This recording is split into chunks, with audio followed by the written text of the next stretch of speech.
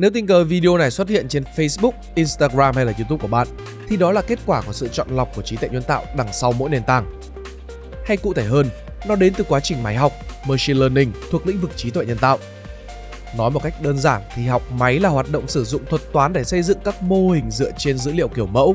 Từ đó các mô hình này có thể phân tích, dự đoán hoặc đưa ra các quyết định mà không cần sự can thiệp của con người. Ở mức độ cơ bản nhất, machine learning là phân biệt giữa hình vuông và hình tròn, giữa cái xe đạp và cái ô tô, giữa con người và động vật. Phức tạp hơn, nó có thể là thống kê, sàng lọc, phỏng đoán và lựa chọn nội dung phù hợp nhất với từng cá nhân hoặc từng nhóm người dựa trên lịch sử tiêu thụ nội dung của họ. Hoặc nó cũng có thể trở thành một trợ lý ảo với khả năng đối thoại vượt xa hình dung của chúng ta về một trí tuệ nhân tạo. Dù muốn hay không thì AI nói chung và machine learning nói riêng đã và đang định hình thế giới của chúng ta. Đồng thời nó cũng đã là thứ mở ra hành trình học hỏi, nghiên cứu đầy thăng trầm kéo dài gần 10 năm của mình. Machine learning bước vào cuộc sống của tôi như thế nào? Khi vừa bước chân vào ngưỡng cửa đại học, mình cũng như rất nhiều bạn sinh viên cùng lứa khác không biết chọn ngành gì cho 4 năm sắp tới.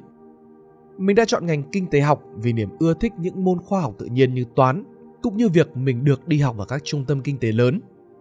Trong kỳ đầu tiên, mình đã học được rất nhiều kiến thức mới mẻ về kinh tế vĩ mô như chính sách tiền tệ, chính sách tài khóa, vân vân. Song những hiểu biết mới này vẫn không đủ để lấp đầy tính hiếu kỳ của mình. Mình thèm khát một chủ đề thú vị và thực tiện hơn. Và có vẻ như vũ trụ đã nghe được tín hiệu của mình. Trong một buổi tụ tập bàn chuyện phiếm tại ký túc xá, mình gặp Jeff, người đã quyết định đi học lại đại học sau 4 năm làm lập trình viên chuyện nọ sọ chuyện kia, Jeff rủ mình thử làm bài tập trong một lớp lập trình anh đang theo học. Với một đứa không biết gì như mình, Jeff đã miêu tả những bài tập của anh ý theo dạng những câu đố hết sức đơn giản mà trực quan. Chẳng hạn như xây dựng một chiếc website nhỏ với chức năng đếm số lần mình click chuột. Những câu đố như thế này giúp mình nhìn ra được những ứng dụng thực tế của lập trình, cũng như đánh vào niềm yêu thích giải đố của mình. Cứ như thế, mình giải hết câu đố này qua câu đố kia mà bỏ quên thế giới, như thể tính hiếu kỳ của mình đang hoàn toàn được lấp đầy. Sau một thời gian nghiên cứu và suy nghĩ, mình đã đưa ra quyết định mang tính bước ngoặt, đó là biến ngành học này thành ngành học chính và học văn bằng kinh tế học và khoa học máy tính. Thế giới của machine learning thú vị đến đâu? Bất ngờ thay một trong những lớp học dường như nhạt nhẽo và khô khan nhất lại hớp hồn mình, đó là lớp lịch sử hệ thống thông minh. Từ những ngày đầu tiên, khi máy tính mới chỉ là một công cụ thô sơ để giải những bài toán phức tạp và để phá khóa mật mã của Đức, thì một ước mơ to lớn đã được nhen nhóm bởi các nhà khoa học. Họ mường tượng về một hệ thống ưu việt với trí tuệ sánh ngang, hiểu được chúng ta và thậm chí là có khả năng tự học. Đúng vậy, tự học về một thế giới đang liên tục thay đổi từng giây từng phút để từ đó có thể giúp đỡ con người. Giới hạn về công nghệ đã không kìm tỏa được sức sáng tạo của con người. Và rồi vào thập niên 50, khái niệm machine learning ra đời từ những câu hỏi vô cùng đơn giản như làm thế nào để giúp cho máy móc có khả năng nhận diện đồ vật, nghe hiểu lời nói hay tự đánh giá môi trường để thay đổi cách thức hợp tác với nhau như con người. Trong đó, nhà khoa học máy tính Arthur Sommel là người đầu tiên sử dụng cụm từ machine learning để mô tả phần mềm tự học chơi cờ đam do ông tự tạo ra. Và các bạn biết gì không? Tuy có vẻ máy móc và nhân tạo, nhưng bản chất của machine learning lại có nhiều điểm giao thoa với thiên nhiên. Ví dụ, cách thiên nhiên sản sinh những cá thể, những thế hệ phù hợp nhất với môi trường đã tạo nên một môi trường nghiên cứu về giải thuật tiến hóa với mục đích tìm ra những đáp án tốt hơn theo hướng chọn lọc tự nhiên. Hay một khía cạnh khác là dạng neuron nhân tạo cũng được xây dựng dựa trên cấu trúc và cách hoạt động của não bộ. Với mình, cách thử và sai của việc học dường như là mình cảm thấy tò mò nhất. Đây là hướng tiếp cận đã góp phần cấu thành nên các giải thuật học máy khác nhau. Thời điểm mình học lớp này cũng là thời điểm học máy và học sâu bùng nổ về máy học.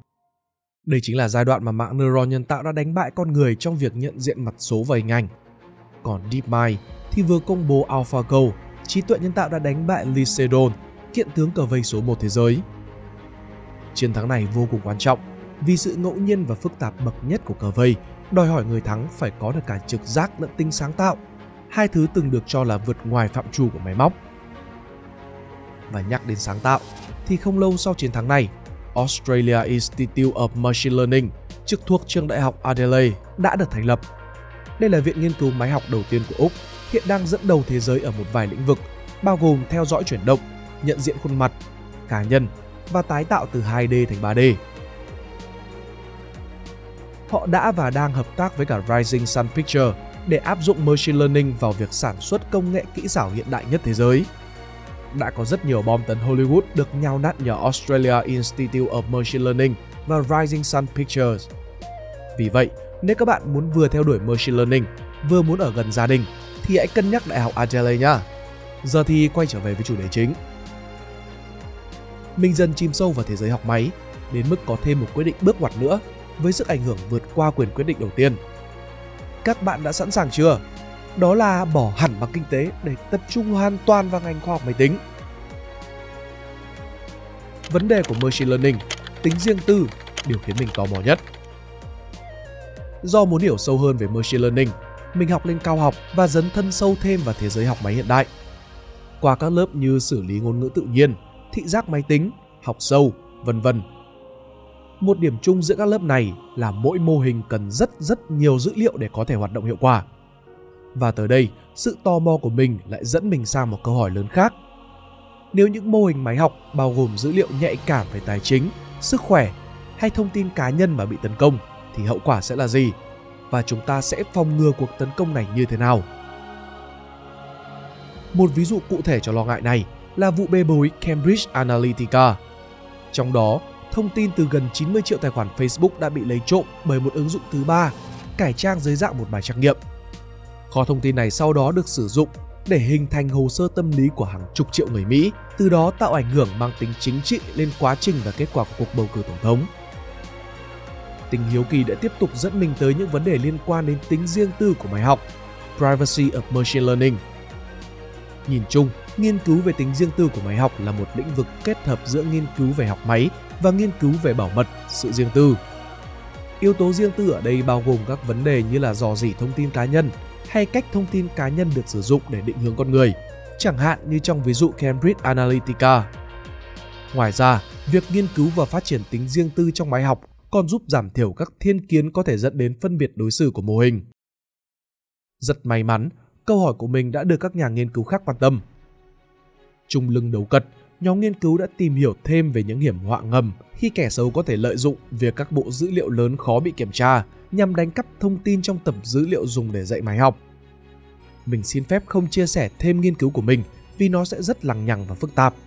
Nếu các bạn tò mò thì mình có thể viết một bài riêng để nói kỹ hơn về nó.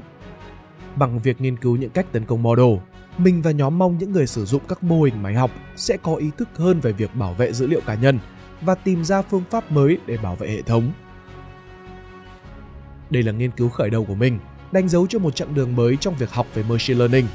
Ngoài việc giúp mình hiểu sâu hơn và thực hiện niềm yêu thích máy học, việc nghiên cứu còn giúp mình mở rộng trí thức cho nhân loại, góp phần xây dựng tương lai mà học máy nói riêng và công nghệ nói chung được sử dụng an toàn. Nghe hơi vĩ mô một thức, nhưng ai cũng nên có một lý tưởng, phải không?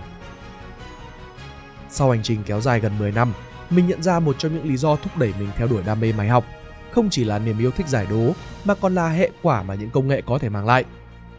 Từ những ngày đầu tiên, khi tiếp xúc với lập trình, mình đã luôn tự hỏi website này có thể mang lại những gì cho người dùng. Luồng suy nghĩ đó đã thôi thúc mình đặt ra những câu hỏi tiếp theo và cố gắng tìm ra câu trả lời. Để giờ đây, mình tiếp tục muốn đưa máy học vào nhiều mặt hơn ở cuộc sống bằng việc xây dựng những hệ thống có thể sử dụng những dữ liệu gần gũi nhất với người dùng một cách an toàn. Vì vậy, nếu bài viết này khơi gợi trong bạn sự tò mò hoặc tình yêu dành cho machine learning, thì hãy thử bắt đầu với việc tìm những trường đại học, viện nghiên cứu tốt nhất trong khu vực. Hiện giờ machine learning đang là một lĩnh vực được đầu tư tương đối nhiều mà lại khá đói nhân tài, nên cánh cửa cơ hội sẽ rất rộng mở. Biết đâu trong quá trình học tập và làm việc, chính bạn sẽ là người sáng tạo ra những Facebook, Google hay TikTok tiếp theo thì sao? Nếu các bạn thích bài viết này, hãy like và share để ủng hộ chúng mình Đừng quên bấm nút subscribe và nút chuông bên cạnh để không bỏ lỡ video nào bọn mình ra trong tương lai. Cảm ơn các bạn đã lắng nghe. Đây là Spider Room và mình là Pink Dot. See ya!